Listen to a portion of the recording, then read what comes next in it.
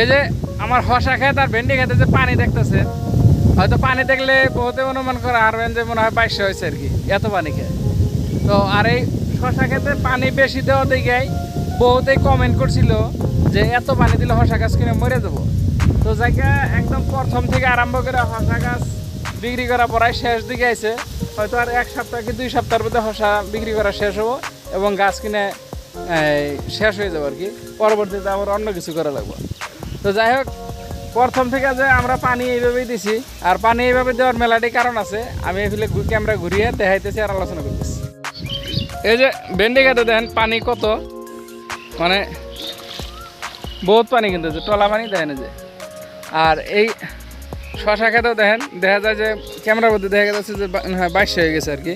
আসলেও বহুত পানি। ওই সাইডটা অল্প টান থাকাতে এই সাইডটা পানি বেশি হয়। তো ওরা খেতে যখন পানি ঘুরে তো এই পানিটা যখন ক্ষেত ঘুরবো, এই পানিটা ওই যে ধান ক্ষেত দেখতেছেন আঙড়ে ওই ধান ক্ষেতের মধ্যে সাইডে দেবো সব পানি বাইরে ধান খেতে যাব গা। তারপরেও আর একটা কথা আছে যে আঙ্গ এই জায়গার মাটিটা হলো বালু মাটি। যদি পানি দিয়ে থাকি, এই পানি বাইক করে না দিলেও সারাদিনে যেমন এই খেতেই শুকাবো। কিন্তু তারপরেও বাইক করে দেওয়ার ব্যবস্থা আছে দিকে, এত বেশি করে পানি দিছি। তো এই পানি দেওয়ার সিস্টেমেই হয়তো বহুতেই বহুত ধরনের পানি দেন। বা এই যে আমরা যে সমতলভাবে শশা কিনে বলছি, এই সমতলভাবেও কিন্তু বহুত জনে দেখে গেছে যে এই সময় কিন্তু সমতলভাবে বোনা লাগে না, একটু উঁচা করে বোনা লাগে।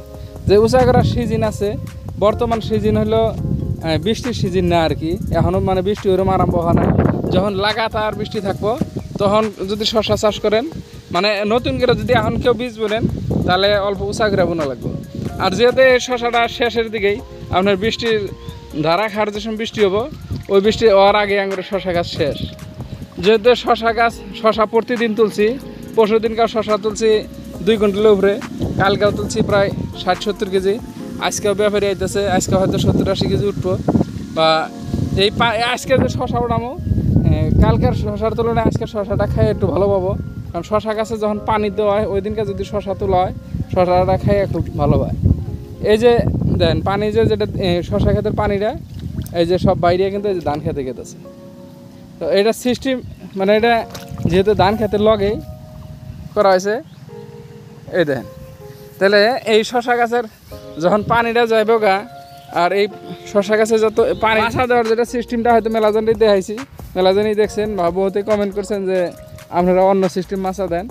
তা আবার আমার এই মাছা দেখে বহুতে কইছিল যে একদিন বাতাস হলেই মাছা ভেঙে যাব গা। তো যাই হোক আল্লাহর ইচ্ছা এখন পর্যন্ত হওয়া নাই কিছু। যদিও হসা গাছ শেষের দিকেই, হসা কিন্তু বিক্রি করা শেষের দিকে হয়ে গেছে এখন।